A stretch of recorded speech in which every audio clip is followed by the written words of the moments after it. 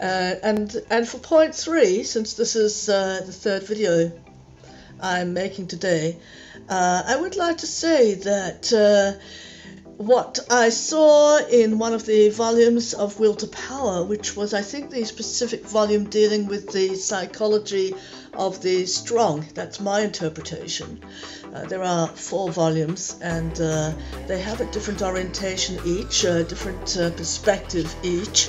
Uh, the last one, I believe, is uh, very, very kind to a, a, a, softer, more liberal point of view. But, uh, this cat, she uh, she will demand attention from me, and you know witches do have cats.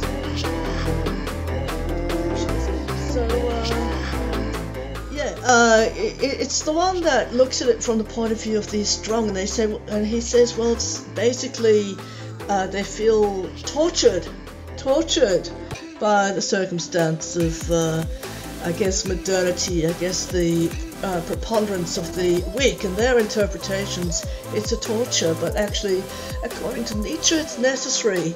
Uh, if we were not so tortured, we wouldn't be forced to be so productive and to overcome overcome a great deal uh, because uh, it's uncomfortable to be where the masses are. It really is distressing. It's quite distressing indeed.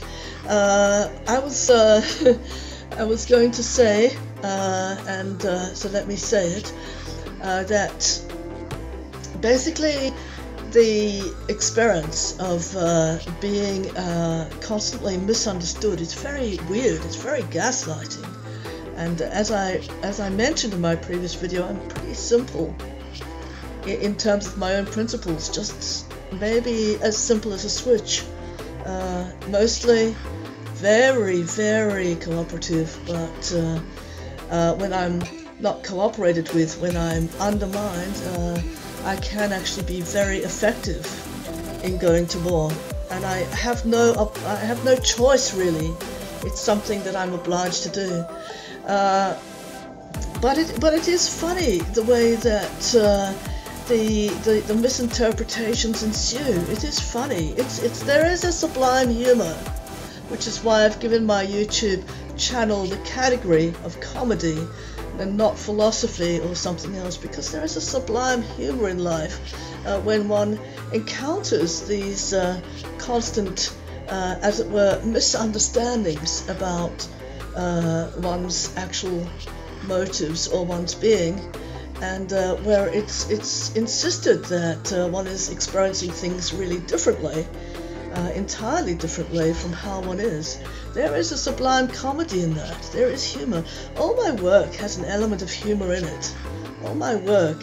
Uh, really, I, am a very humorous person, but uh, on the other hand, it is a little bit wry. It's a bit wry, folks.